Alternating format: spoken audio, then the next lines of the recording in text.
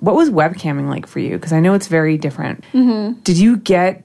Because I know that some cam girls have had like issues with certain fans that get a little bit too obsessed, or they do Yeah. custom videos and they get really weird requests. Mm-hmm. So do you have like any of those that kind of stand out in your mind?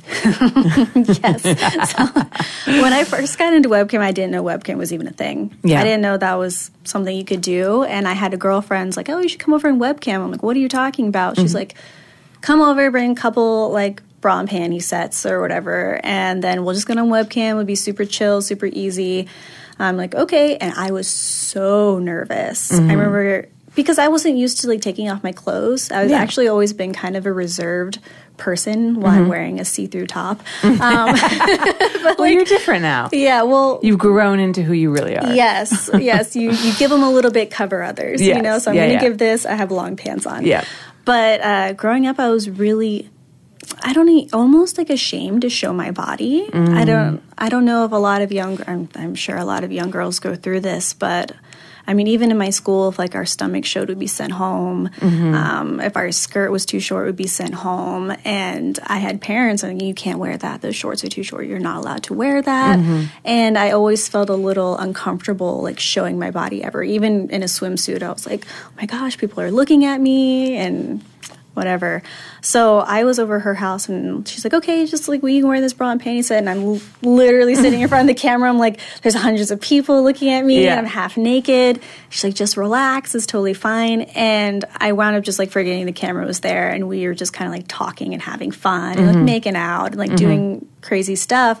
And she's like, all right, like we both made like a thousand dollars. I'm like, what?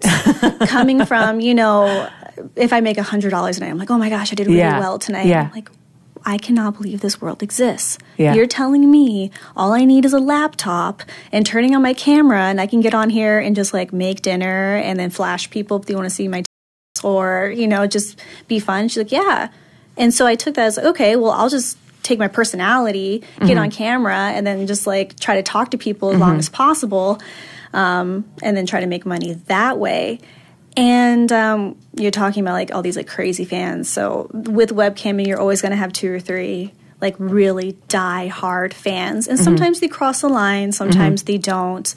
But I mean, I would do public chats and then go to private sometimes. And these people, like, I wouldn't even take off my clothes. We'd sit there for 30 minutes to an hour and they just talk to me because they really want like that girlfriend experience, that connection with somebody. Yeah.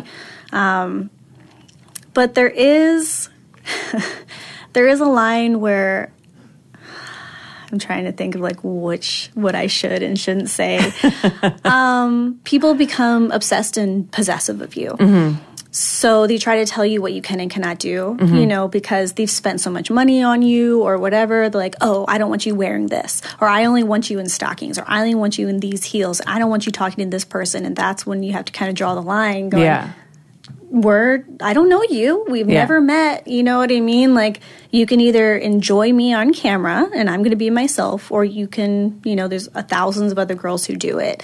But um, people do after a while start to become a little possessive Mm-hmm. of you, and I think that makes a lot of girls uncomfortable. But you really just have to like put people in their place sometimes. Yeah. you know, like like I don't want you ever using toys, or I don't want you ever doing this. Yeah. You know, I've had Well, I would imagine that probably there's a significant number of guys who, you know, have issues having relationships with women or haven't Yes. had a relationship with a woman in a long time or before or you know what I mean? And so they Mm-hmm. don't and so they they they meet somebody they think they have a connection because they've never really had like a real human girlfriend connection with somebody and then you tend to fulfill that for them Mm-hmm. Yeah. and then they think that it's more than it is. Yeah, you're literally their online girlfriend. Yeah. And they take it very, very seriously. Yeah.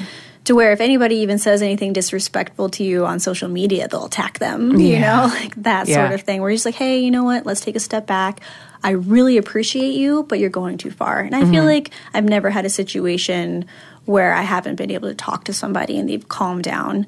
Um, but the custom video things, the things I get requested, I do custom videos, but I'm really particular about like what I'm going to do. I don't Right. just do everything, Right. you know. But um, people want to just you to record yourself peeing Yeah. or pooping, Yep. or um, they want you to do a video while you're on your period and and you know have your blood fill up the panties and then send the panties to them.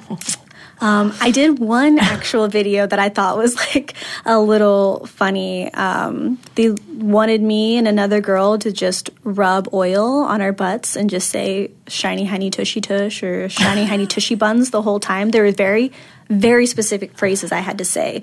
And it was always just like, Do you like my shiny hiney? Do you like my shiny hiney tushy tush? Do you like her shiny hiney tushy buns? And it had to be very, very specific. And if it wasn't the way he wanted it, then he got like really upset. Uh-huh. Um, I think that's like kind of the most you know stringent one that I've had because usually it's like okay what do you want Yeah. I'm gonna base it on what you want but it's not gonna be so crazy and over Right. the top